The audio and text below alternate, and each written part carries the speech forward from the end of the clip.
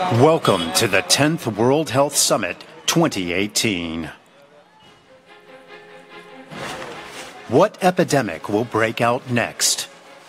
To improve global health, we have to improve cross-sectoral partnerships between science, business, politics, and civil society. Because health is a human right. Now, uh, we are going from highlight to highlight, but I can, can assure you the next highlight is short. Uh, and the introduction is also short, but important. Uh, you have mentioned the young people. We have a Young Physician Leaders Program. Nominations from the 130 Academy of, of Sciences and Medicine come into the Secretariat. We select 20 for management courses and for tutoring and mentoring here in Berlin uh, before the meeting and after the meeting and during the meeting. And uh, these 20 people who are here in the audience, will you please stand up just to move a little bit and uh, people look around? Where are the young physician leaders?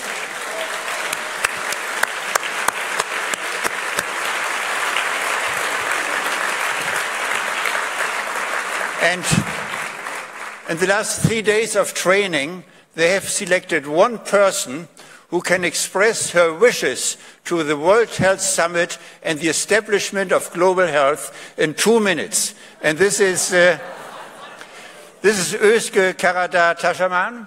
Why don't you come up already? And uh,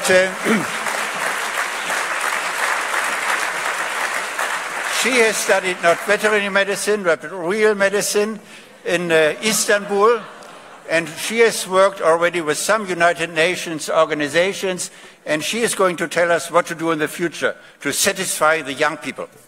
Thank you. Distinguished global health leaders, dear honorable guests, and dear colleagues. First of all, I would like to thank the summit organizers for giving us, the young physicians, a chance to express our hopes for this meeting. As a young physician, I sincerely wish in this World Health Summit that we will leave aside individual countries and boundaries and focus solely on our planet. And I wish that we will talk more about sustainable development goals, but discuss action rather than only theory. I hope that we will talk more about vulnerable and disadvantaged groups, how to empower them, how to increase their participation in healthcare delivery, and how to decrease health inequalities by sharing our resources, experiences, research findings, best practices, and know-how. In this summit, I hope that we will be speaking more about social innovation and working together to benefit all humankind. I wish that we will discuss how to raise every single child on this planet as a world citizen who feels responsible for and acts upon the world's most urgent problems, such as the human-driven climate change and decreasing biodiversity. I also wish that we focus more on the One Health concept, because we know that human health cannot be sustainable without animal health, plant health, and environmental health. Therefore, I believe we need more discussion on concrete and evidence-based interventions to promote One Health and to implement One Health in all policies.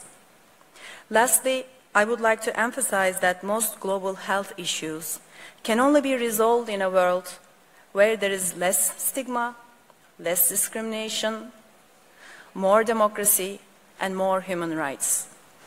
To conclude, I believe that peace is at the heart of all global health issues, and therefore peace should be a sine qua non for achieving our global health goals. Thank you.